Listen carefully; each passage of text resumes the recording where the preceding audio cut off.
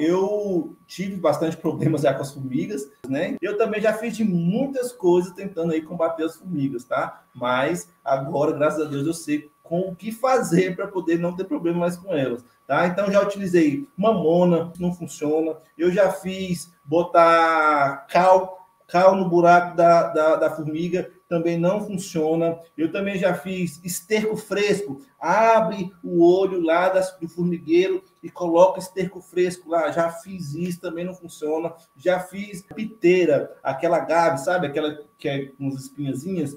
Você pica ela, macera e coloca lá dentro do olho dela também. Já fiz isso e não funciona. Tudo isso você tem que fazer todo dia para poder ver se dá certo. Tá? Então, acabei perdendo a cabeça aí, fazendo essas coisas aí, e que não, na verdade não funcionam, tá? Então, hoje eu cheguei nesse nível, né, de poder entender o que, que realmente eu posso estar fazendo para poder não ter mais problemas com as formigas. Sabe o que você precisa fazer? É fazer as pazes com as formigas. Sabe o que é isso? Exatamente, porque é, a formiga ela só vai atacar a sua planta quando a planta está em desequilíbrio.